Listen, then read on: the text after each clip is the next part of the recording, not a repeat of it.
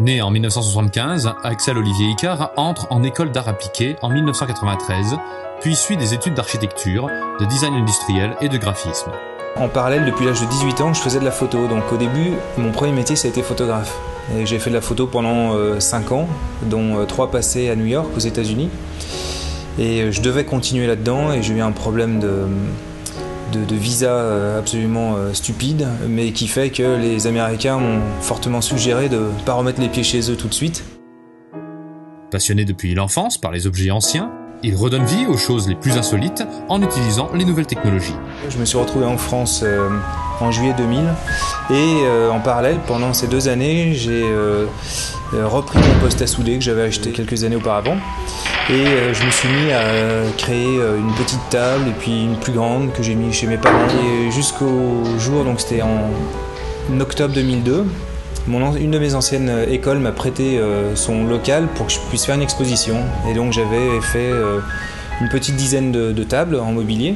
Et les deux tables les plus originales, les plus, je dirais pas farfelues, mais vraiment les plus originales, les plus dures à vendre, celles qu'on ne trouverait pas dans des magasins normaux de décoration, c'est les deux que j'ai vendues en premier. Et donc je me suis dit, ok, on va se lancer à fond là-dessus, euh, j'arrête la photo et je me consacre euh, qu'à ça. Et septembre 2003, premier salon à Paris, j'ai tout vendu sur place, j'ai eu un accueil euh, des professionnels qui a été très très bon. Il en vient à créer du mobilier ou des agencements décoratifs en mariant des matières, des époques et des genres différents. Le, style, c'est le mélange des genres. C'est un mélange d'acier. Alors, généralement, c'est 80, 75, 80% d'acier. Le reste avec du bois, du cuir, euh, un petit peu de laiton. Euh, voilà, mais essentiellement acier, bois et un petit peu de cuir. C'est des matériaux vivants. Il part d'un matériau qui a une histoire pour le détourner de sa fonction première et l'intégrer dans l'univers contemporain.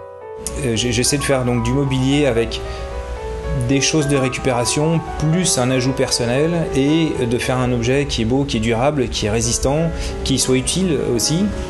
Ces créations reposent en grande partie sur la valorisation de matériaux d'occasion, souvent issus de récupération. Au début, quand je vais euh, chiner dans les brocantes, dans les vides-greniers ou les choses comme ça, euh, je regarde et l'objet euh, m'interpelle ou pas. Euh, je me dis tiens ça je pourrais en faire quelque chose.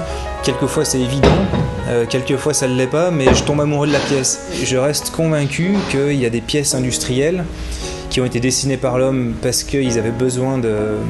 Enfin il devait y avoir une utilité pour la pièce et tout en faisant euh, les schémas qu'il fallait pour que ce soit le plus performant possible, ils sont quand même arrivés, alors est-ce que c'est malgré eux ou pas, à faire des pièces, euh, c'est surtout des vieilles pièces en fonte qui sont absolument superbes.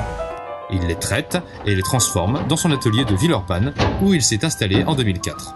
Et ces pièces-là me touchent parce que euh, elles sont belles, elles ont bon et puis elles ont une certaine patine hein, avec toutes les années qui sont passées.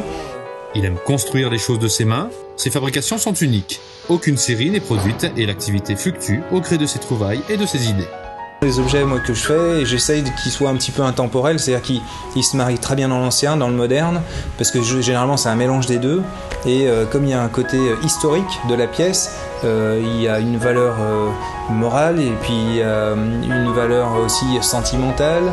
Et puis après la valeur de l'objet, parce que bon, comme c'est aussi un artisan qui l'a fait et que c'est une pièce unique, ça les gens aiment bien.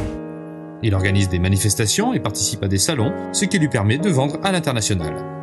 dès mon premier salon à Paris, ça a été international. J'ai eu euh, une princesse d'Arabie Saoudite qui m'a acheté quelques pièces. Euh, j'ai eu la Suisse. Généralement, c'est euh, entre 30 et 50 en France et le reste à l'étranger. Axel Olivier Icard conjugue ancien et moderne, créativité et technicité pour inventer un nouvel avenir aux choses d'antan. Ces objets chez le particulier, c'est aussi lui pointer du doigt, lui dire regardez à l'époque comment on travaillait, c'était super beau, super bien fait. Euh, et donc je leur vends un objet et puis un historique euh, euh, parce que si je sais pas d'où viennent les pièces que j'achète, enfin que je, que je, vois, je les achète pas parce qu'il n'y a pas d'histoire, moi ça m'inspire pas et puis je pourrais pas la retransmettre aux gens.